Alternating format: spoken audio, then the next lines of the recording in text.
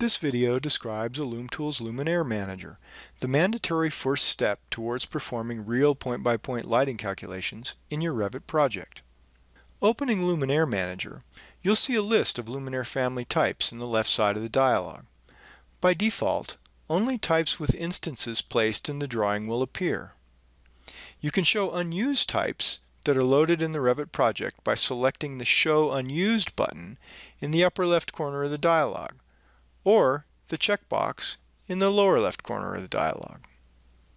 The Instances tab will show a list of all instances of each Luminaire type in the project. This is mostly useful for exposing information relative to nested sources.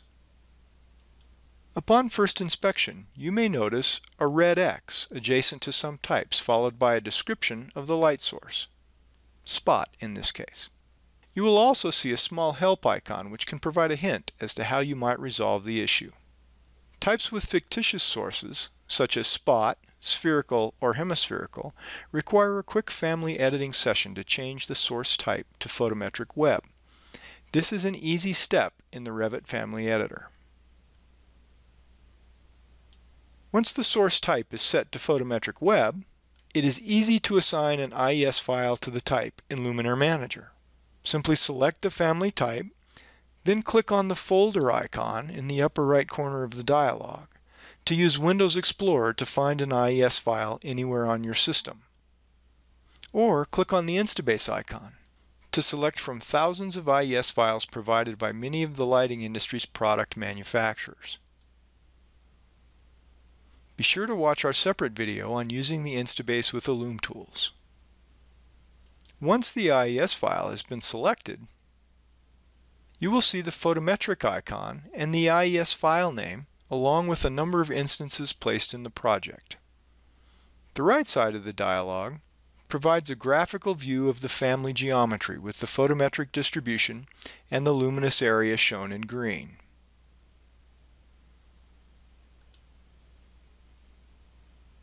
Select the Light Source tab to see how you can control the visibility of these items.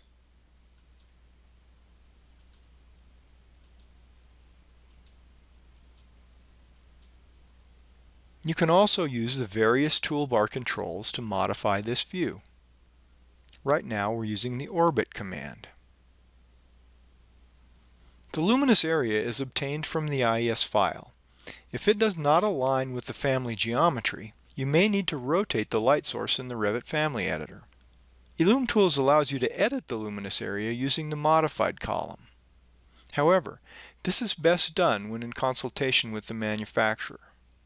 A polar plot of luminous intensity in Candela is also available.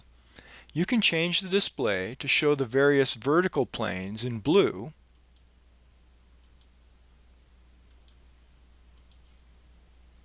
and the cones in red. If you're not familiar with how to read this graph, be sure to watch our video on YouTube titled Understanding Polar Curves of Luminous Intensity. Select the Luminous Area and Color tab to see the settings for light source color.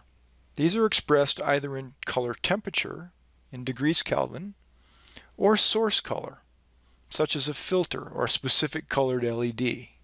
Since many family types are given a color temperature in Revit by default, which is not typically accurate, this feature is disabled in the ElumTool settings. When disabled, all sources are visualized as white. To enable this feature for visualization, go to Settings and enable Color Temperature.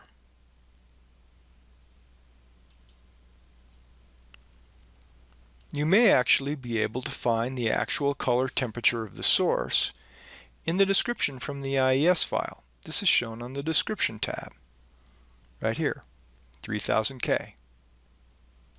When using the setting for color filter or specific LED color, ElumTools will derate the output as if it was a filter or a gel. We'll assign a blue LED color RGB numbers here. The output is 29%. That assumes a filter of that RGB equivalent. To override this deration, check the box and enter the appropriate factor. If the photometric file is specific to a certain LED color, the factor is typically 1. Best to consult the manufacturer if in doubt. The luminous area display mode will control how the luminous area of the fixture is seen in the ElumTools visualization. The default setting is Materials. This can be changed in ElumTools settings.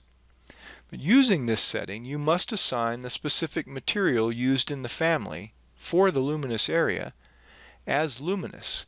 This is handled in ElumTools Materials Mapping dialog. Here's the material. We have the checkbox for luminous currently selected. If in doubt of the material used for the luminous portion of the luminaire, you can usually figure it out in the Revit Family Editor. This setting is best for odd-shaped luminous areas. Other settings are Luminous Shape from the ElumTools Size and Shape tab and emit shape from the Revit family parameter. The Emergency tab contains settings relative to emergency lighting. This is covered in another video. Finally, let's look at the Definition tab. This is visible when you initially open the dialog. This tab pulls information from the IES file in the right column and allows some of that information to be edited in the left column. Specifically, you can prorate lamp count and lumens per lamp for relative photometry. That's typically HID, fluorescent, and incandescent sources. The proration factor is supplied to allow you to factor LED photometry, which is tested by absolute method. The luminaire watts field is also editable, as is the ability to add a light loss factor.